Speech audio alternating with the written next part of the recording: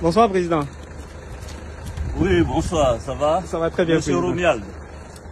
Je vous salue et je vous souhaite de dire à toute l'équipe de sécurité, vous qui m'avez gardé, accompagné pendant toutes ces années, bonne fête euh, de fin d'année. Maintenant, je vais m'adresser aux Ivoiriens tout à l'heure à l'occasion d'une émission.